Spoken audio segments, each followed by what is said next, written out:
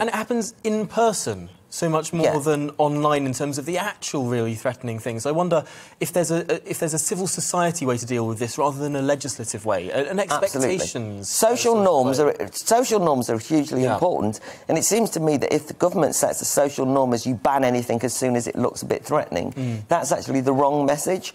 And let's be entirely frank. Most of the time that I get, I get massive abuse online, God knows, Mm. um, and death threats and the rest of it, and horrible things said, usually activated by blue tick, fully named Mm. uh, opponents of mine who uh, use their power to, you know, set their trolls on me, right? Yeah. So it's not even dealing with the problem of No, online no. abuse as it happens.